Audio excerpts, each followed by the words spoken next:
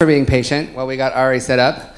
So, um, we as I planned the show this year, I, I scheduled the emerging trends talks for the second half of the lunch hour with the intent of kind of giving you a break in the day where you could sit back, eat your lunch, relax, and listen to somebody talk about something that may be relevant to you today, but, may, but, but will absolutely be relevant to you in the future.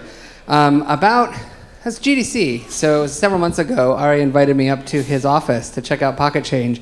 It was really the first time that I had thought much about virtual currency.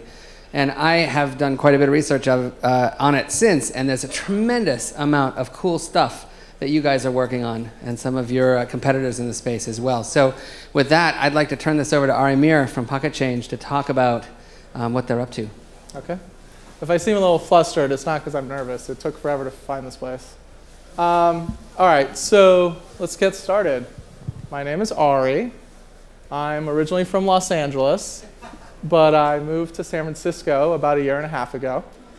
I'm uh, an entrepreneur in the tech industry. I've co founded several companies. The first company was called MoJungle.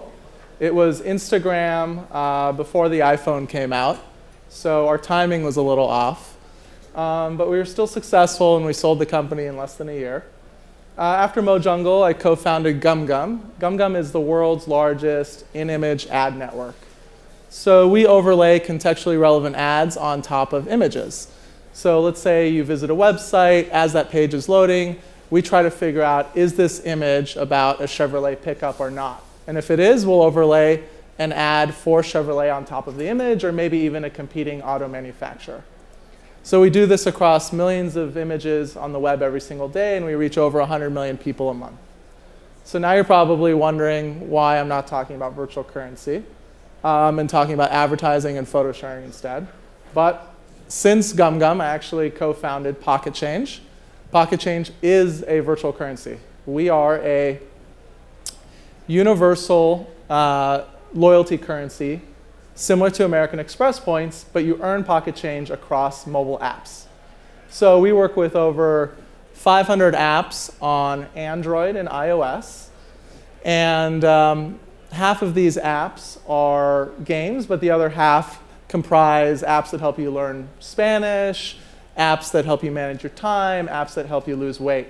And so we power the in-app loyalty currencies for these 500 or so apps. So you as the end consumer, how do you actually earn pocket change? Well, the first thing we have to do is we have to have a relationship with the app developer.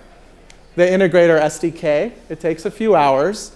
And they then define events in their ecosystem that they want to reward pocket change for.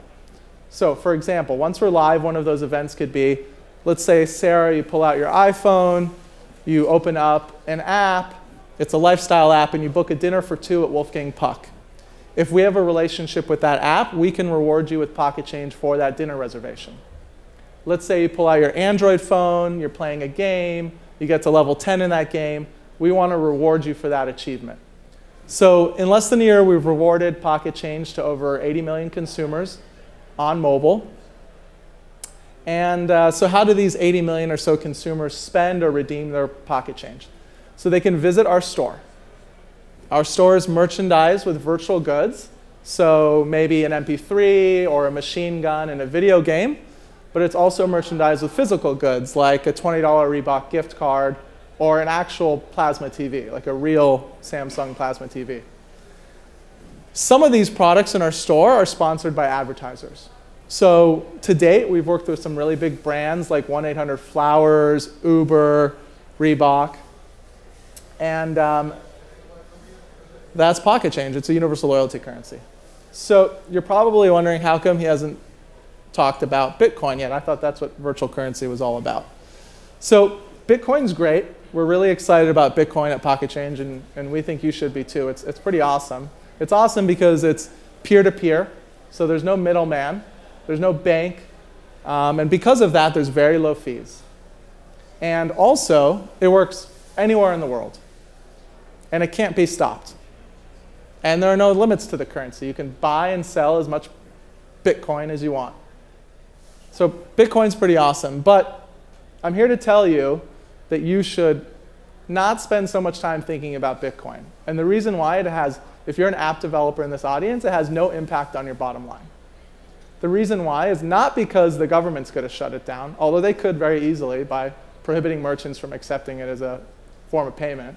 The real reason is because the actual gatekeepers, the ones we should care about, um, will prohibit it. So whether it's Apple, Google, or Facebook, they will not allow you to accept Bitcoin as a form of payment for an in-app purchase. They just will not. And the reason why is not because they have their own competing currencies. Google and Apple don't. Google and Apple have wallets. So iTunes is really a wallet. Google Wallet is actually a wallet. Um, and Facebook used to have credits, but they've recently repositioned it not as a currency, but as a wallet. Um, and so the real reason these platforms don't want you to accept Bitcoin as a form of payment is because they want to tax the ecosystem, right? They want to make money. And they can't make money if you accept Bitcoin. And not only can they not make money, but you're cannibalizing their in app revenue. So it's very disruptive to the platforms. So we think you should be thinking about loyalty currencies, whether it's Pocket Change or someone else. And the reason why is loyalty currencies, or a loyalty currency, is actually the silver bullet that solves two really big problems that impact your business today. And those two big problems are advertising and monetization. So, what does that mean? Well, for those of you that know, um, or for those of you that don't know, less than 1% of people ever engage with an ad. So whether it's that really annoying banner ad at the top of a web page or that even more annoying ad that you put in your app, less than 1% of people are ever going to engage with it. And that's a huge problem because that means you're pissing off 99% of people.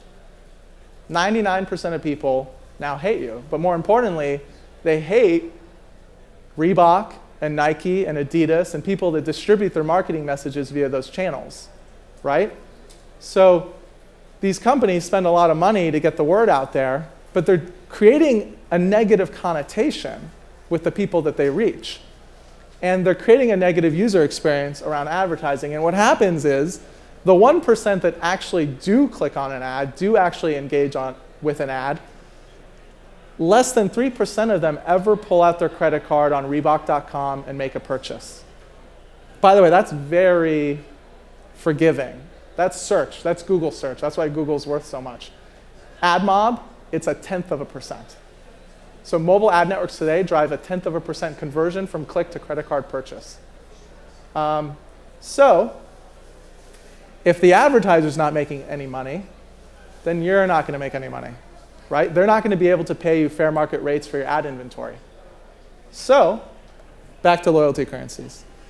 A loyalty currency helps because it allows for a positive relationship between the advertiser and the consumer to be built.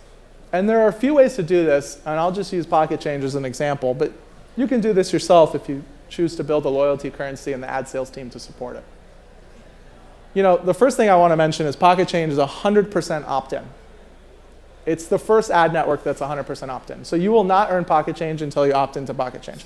But once you do, if you're in an app that's in our network and you perform an action like making a dinner reservation for two, you'll see a really small reward dialog appear. It's the, it's the one with the blue button. You can close it out, but if you want, you can engage with Pocket Change and we will load our store experience inside of the app. We never take you outside of the app. And at that point, you can say, look, there's nothing in this store of interest, and I'm going to save my pocket change for another day. Or you can say, hey, it's Mother's Day. Why don't I redeem my 1,500 points of pocket change for a $15 gift card at 1 800 Flowers?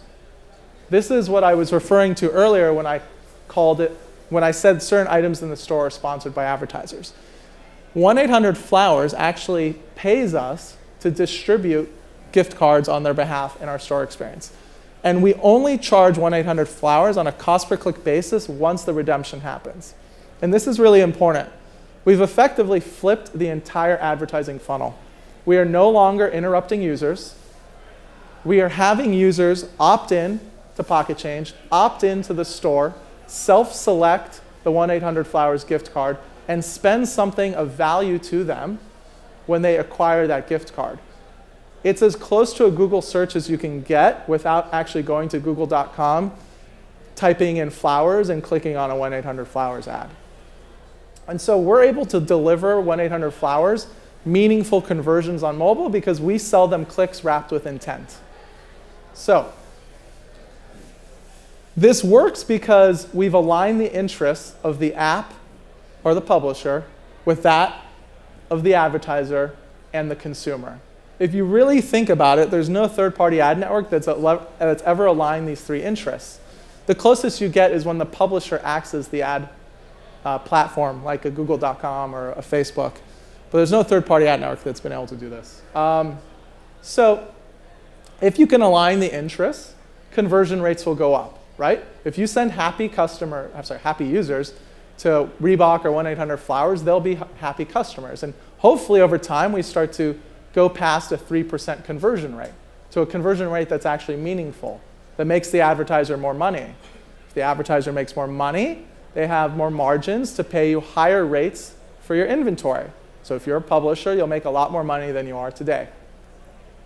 So I encourage you to spend less time thinking about Bitcoin and more time thinking about loyalty currencies, how you can build them yourselves, how you can leverage them with advertisers, how you can work with us or some of our competitors, which I won't mention. Um, and uh, you know, loyalty currency, like I said, is a silver bullet to the advertising and monetization problem.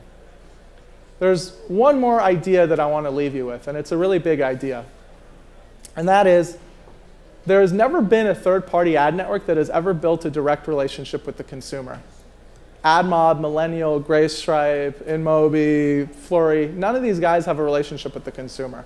Nobody knows who's serving the ad, and frankly, they don't give a shit. So this is a really unique opportunity that a loyalty currency can provide. It allows you to build a relationship, like I had said earlier, between the consumer and the advertiser because the consumer feels like the currency is tangible. It has value to them. They own it. They want to earn it. They want to spend it. So this is the unique opportunity that we in the loyalty currency space believe is the long-term vision. If people opt into your ad network, if you have a relationship with them, if there's a reason for them to tell you what they're doing, you can tie the desktop experience to the mobile experience and to the point of sale experience. You can start collecting information around purchasing behavior, around engagement behavior across these three platforms. And that may sound nefarious, but remember, what we're trying to do as an industry is make the conversion funnel more efficient so that you as the publisher can make more money. So that's it. I'll leave like, I think I have like two, three minutes for Q&A. So feel free to ask questions. I kind of blasted through that. Any questions? No? Oh. um, what are you doing on behalf of the network to build awareness among consumers? Uh, good point. So part of what's interesting about our strategy and other loyalty currency providers is we do a lot of BD with app developers. And that integration point becomes our marketing funnel for us, right? and we start educating the user through our opt-in or through the reward dialogues that appear. This is what a loyalty currency is. This is how you can redeem it. This is what's awesome. Now, there's a network effect that none of us have quite tapped into yet, which is as you start to go across more apps and you see us more often, it just clicks. And I don't think any of us are there quite yet. But that's really like the, the golden opportunity. Question. Questions? Cool. All right. Oh, yeah. I almost got away. You gave very small numbers for conversion and mm -hmm. said you had 80 million users. Mm -hmm. How many of them redeemed something significant? So we've rewarded 80 million consumers over the lifetime of our service. Every day we reach about a few million consumers.